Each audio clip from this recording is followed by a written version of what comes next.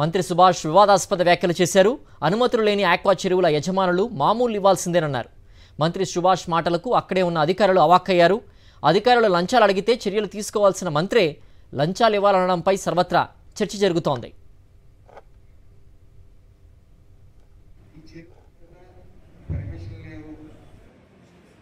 దాని మీద యాక్షన్ తీసుకోవాలని చెప్పి ఆర్డీఓ గారికి కలెక్టర్కి గ్రీవెన్స్లో కంప్లైంట్ చేయడం జరిగింది.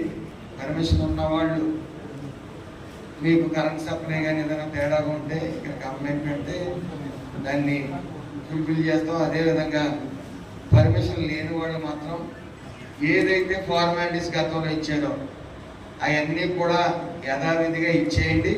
దానికి మేము డబ్బు జోడించి వాటర్ ట్యాంకులు కట్టడం జరుగుతుంది. ఈ చెరువుల మీద దాని మీద యాక్షన్ తీసుకోవాలని చెప్పి ఆర్డీఓ గారికి కలెక్టర్కి గ్రీవెన్స్లో కంప్లైంట్ చేయడం జరిగింది. పర్మిషన్ ఉన్న వాళ్ళు. ప్రతి సమాచారం మా ప్రతినిధి హరీష్ అందిస్తారు. హరీష్ యథావిధిగా ఫార్మాలిటీస్ అంటే మామూలు ఇవ్వాల్సిందేనంటూ కూడా మంత్రి చెప్పడం చూస్తున్నాం. ఏమాత్రం బొంకు జంకు లేకుండా ఇలాంటి వ్యాఖ్యలు చేయడం పట్ల అక్కడ స్థానికులు అలాగే ఉండేటువంటి పారిశ్రామికవేత్తలు అభిప్రాయం ఎలా ఉంది? ఇప్పుడు ఆక్వా రైతులకు సంబంధించి రామచంద్రపురంలో ఒక మీటింగ్ కండక్ట్ చేశారు. దానికి మంత్రి సుభాష్ రావటం జరిగింది.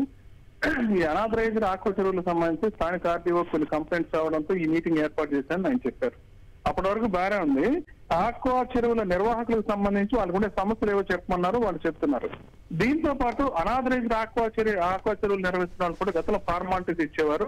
ఆ ఫార్మాలిటీస్ కంటిన్యూ చేయండి యథావిధిగా. దాంతో నేను వాటర్ ట్యాంకులు కట్టిస్తానని మంత్రి మాట్లాడటమే ఒక ఇష్యూ కింద మారిపోయింది. మొత్తం ఇదంతా కలకలో రేగింది. ఎందుకంటే ఫార్మాలిటీస్ కంటిన్యూ చేయండి మీరు యథావిధిగా కొనసాగించండి ఆపొద్దని మంత్రి నోటి వెంట మాటలు రావడం స్థానికులనే కాదు అక్కడ ఉన్న వాళ్ళందరూ కూడా ఆశ్చర్యపరిచింది. ప్రధానంగా అక్కడ అధికారులు కూడా ఉన్నారు.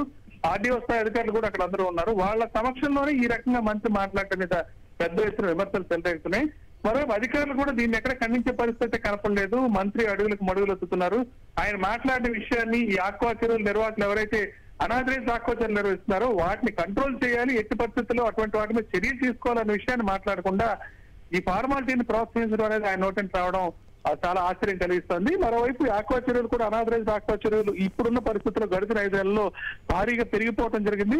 వాటి దగ్గర మామూలు తీసుకుని వాటిని యథావిధిగా కొనసాగిస్తున్నారు.